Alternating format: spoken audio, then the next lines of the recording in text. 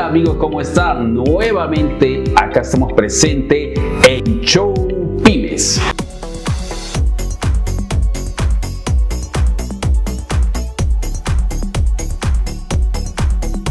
Agradecemos que cada día estamos creciendo más los seguidores y se ve el interés de muchas personas por aprender para eh, hacer muy bien las estrategias o los conceptos para aplicarnos en su negocio. Eso es muy importante. Y hoy día vamos a hablar de algo que nos tiene a todos preocupados, que es la competencia. ¿Qué pasa cuando nosotros tenemos productos similares? Es decir, nos encontramos en un mercado saturado y nosotros tenemos, hemos importado o hemos comprado productos similares. Lo ideal es que eso no pase. Cuando el mercado está saturado por muchos productos es muy difícil competir porque generalmente las empresas más grandes, las que tienen mejores recursos, mayor personal o ya están en un buen tiempo establecidos, son las que tienen muchas ventajas. Al comprar estas grandes empresas al por mayor, evidentemente pueden jugar mucho con sus márgenes y a las pequeñas empresas que quieran competir le va a ser muy difícil. Por eso, cuando si usted ve que el mercado está saturado de un producto, es mejor no entrar en él. Es una buena recomendación no entrar en el producto. Pero ¿qué pasó si yo ya importé o yo ya compré, me estoqué del producto? ¿Qué es lo que puedo hacer? En ese caso, lo primero que usted tiene que hacer es darle un valor agregado a ese producto. ¿Y cómo le puedo dar el valor agregado? Por decir, vamos a hacer que una nueva presentación, es decir, que el producto se pueda comprar a través de un combo. ¿Qué quiere decir eso? Que presento mi producto principal y a esto le sumo un segundo producto que a través de él sea como un combo. Es decir, que un producto A tenga mucha relación con la necesidad del producto B y esto se una para poder vender. Por ejemplo, si usted vende champú, lo ideal es que lo prepare en un combo con reacondicionador, ¿no? Es algo que van de la mano y que le pueden dar un valor agregado. Es decir, que yo a un segundo producto puedo de repente descontar un poquito el precio para que ambos tengan un precio interesante, competitivo. O puedo hacer que un producto que es muy conocido, que figura mucho en el mercado y le agregue un producto que no sea tan conocido, pero necesario para este primer producto. ¿no? Entonces podemos hacer la preparación de a través de una nueva presentación para darle un valor agregado. Podemos darle otro valor agregado que puede ser el servicio postventa, es decir, cuando la gente pueda comprar el producto, pueda también eh, tener un buen servicio de postventa.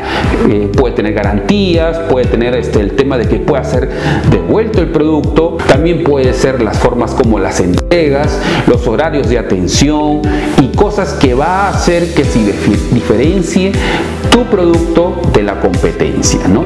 Lo otro que tú podrías hacer que también muchas empresas hacen es que cuando tienen muchos productos similares crean su propia marca.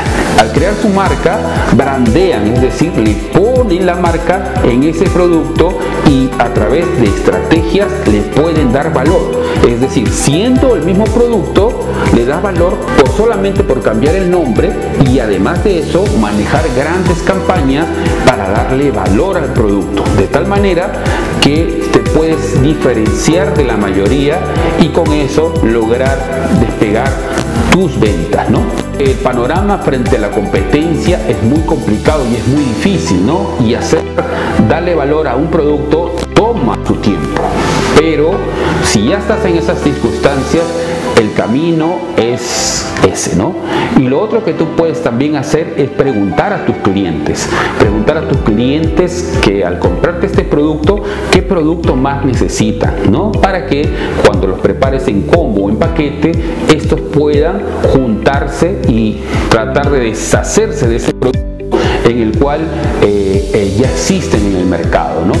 Porque si tú vas en la calle o vas a un supermercado y encuentras un producto A con la comparación de un producto B, tiene las mismas características, tiene la misma presentación, inclusive el mismo nombre, entonces tú por qué vas a pagar más por este que por el otro, ¿no?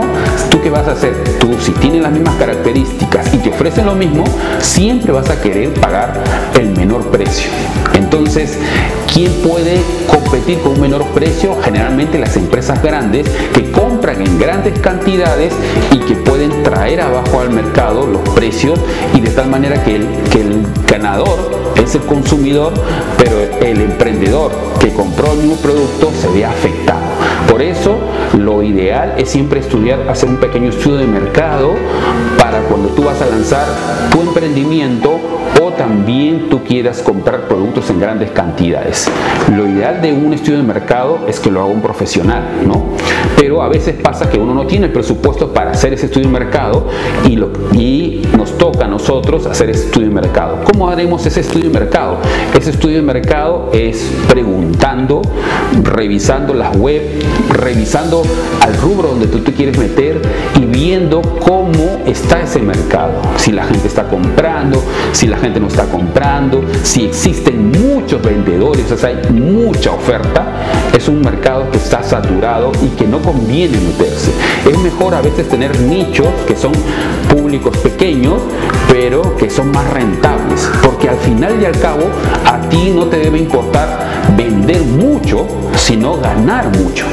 Yo puedo tener de repente pocos clientes, pero estos pocos clientes hacen que yo gane más que teniendo 200 o 300 clientes y al final gane poco. Es decir, voy a trabajar mucho, voy a hacer mucha logística, voy a hacer mucho esfuerzo para que mi margen sea poco, mientras que de repente con un público o un tipo de cliente más pequeño yo pueda vender más generar más dinero y más ganancia utilidad para la empresa.